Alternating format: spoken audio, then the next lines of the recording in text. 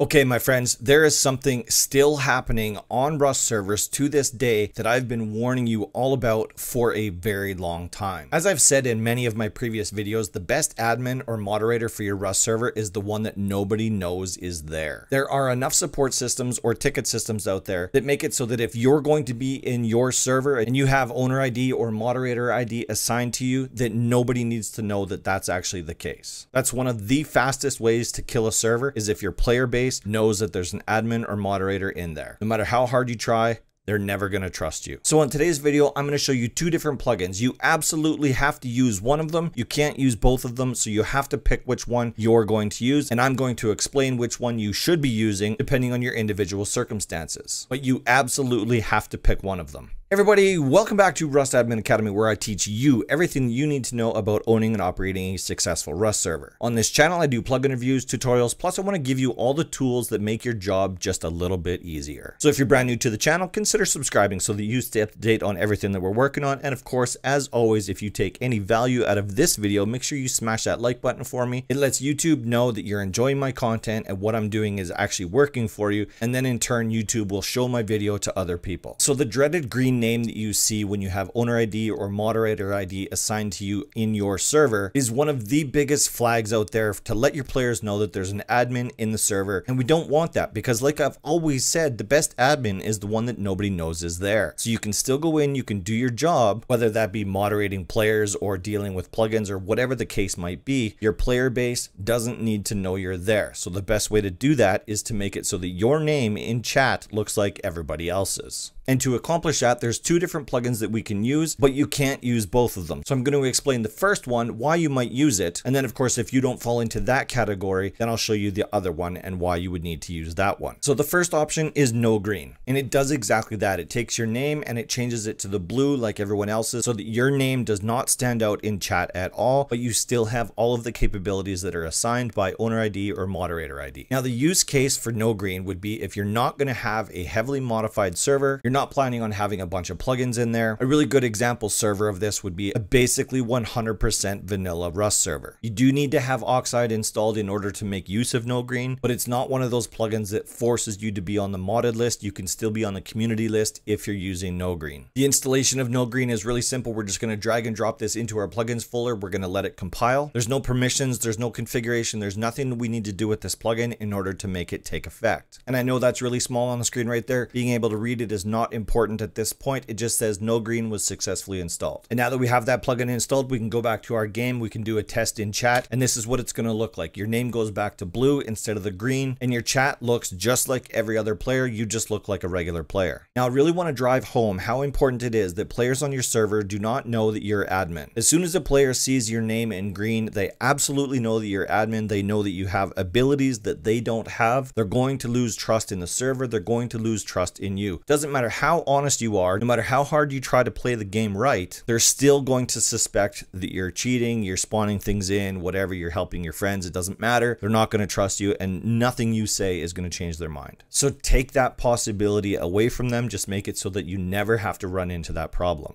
So that's obviously the quickest and easiest way to make it so that all the players on your server don't think that you have a player advantage over them. And at the beginning of the video, I said that you had to pick just one. You either use no green to get rid of that, or you would use my second plugin, which is Better Chat. Now, Better Chat has a whole list of different things that it can do for you and your server. We're not getting into all of that. All I care about on today's video is making it so that your name does not appear in chat in green. So the alternative to no green is using using Better Chat. You can't use them both at the same time. One of the biggest problems that people have when they do try to use both is you end up getting double chat. So if you have double chat and you don't know why, take out no green. You already have Better Chat installed. You don't need to have no green anymore. But the long and the short of what Better Chat allows us to do is that it basically allows us to format what that chat actually looks like from the name, the color of the name, the size of the text, the color of the actual chat that they're saying. We can change all of that up. Like I said, that's not what this video is about. I have other videos on Better Chat that go more in depth into what it can actually do for you. So for right now, we're just going to delete no green out of there. We're going to make sure that it actually unloaded from the server. And of course it did. And this is now what my chat looks like. Again, it went back to the green name. So now we're going to go back and we're going to install Better Chat instead. So we'll just drag and drop that into my plugins folder. We'll wait for it to compile up in my server. There it is. But now we have a little bit more work to do. And this is another thing that I'm still seeing on servers that just grinds my gears. You know what really grinds my gears?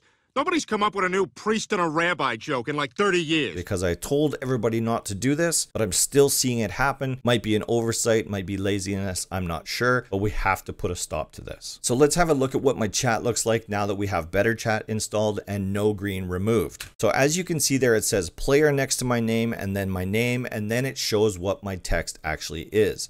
This just drives me insane. What that tells every player that joins your server is that you don't care enough about your server to actually put in the wrench time to make it so that things actually look proper. That bracket with player next to your name basically means you took this plugin, you dropped it in there, you did nothing further with it. You've basically ditched all of the details. However, at this point, you'll notice that my name did go back to blue and does look like every other player would if there was other players in here chatting. So that aspect of things is working. However, we have to get rid of that player next to the name. So to do that, we go back into the file system for our server, we go into the data folder, and then we go into the betterchat.json. And this, of course, is where you can configure exactly what that chat including the name, is going to look like every time they appear. So if you absolutely insist on having a tag next to their name, you of course can define that right here. So we go into this player section right here, and we can change this up to whatever it is that we want to actually have it say. If I wanted to have a tag next to every player's name that says YouTube, just as an example, then it would look just like this. Save that file, reload better chat, and this is what it looks like after we've made those changes. So even just that right there looks like you've put in just an ounce of effort into your server. It definitely looks looks better than just having player. However, if you just wanted to make it look normal, as if there was no plugin installed on this server whatsoever, we have the option of hiding that tag next to the name. So just look for the section where it says hidden set to false. We're going to change that to true. We're going to save that file. We're going to reload the plugin one more time. And this is what your chat is going to look like now. It looks exactly like it would if you were a regular player on this server. No plugins, no admin, no moderator, no nothing. You just look like a regular player. Nobody would be any wiser that you have any abilities on this server over what they already have. And I'm going to bring up my reasoning for this one more time in this video. It's incredibly important that your player base doesn't think that you're in your server, spawning in items, helping your friends, doing all of the various different things, flying around, no clipping, doing all of the things that basically give you or your friends an advantage over any other player. It's incredibly important. I can't stress to you how important this is. So something as simple as hiding your name in chat so that it doesn't come out and say, boom, guess what? I'm the owner of this server. That is absolutely a step that you have to take on your server. If you would like to check out a video where I do an in-depth tutorial on all of the advantages that Better Chat will have for you, check out this video right here. And of course, if you haven't already done so, make sure you hit that subscribe button so that you get notified of future videos. Thanks for watching. I'll see y'all next week.